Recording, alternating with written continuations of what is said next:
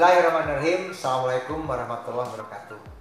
Atas nama pribadi dan pimpinan sejajaran, saya mengucapkan selamat atas dibukanya atau mulai berjalannya Koperasi Konsumen Insan Abdi Masyarakat di Universitas Pajajaran.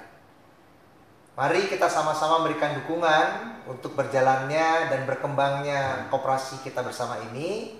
Mudah-mudahan memberi maslahat bagi kita bersama dan juga di samping sebagai koperasi yang menjalankan tugasnya diharapkan dapat menjadi wahana bagi para peserta didik News Pejajaran dalam memfasilitasi proses pendidikannya dan juga bagi para dosen dalam mengekspresikan kapasitas akademiknya.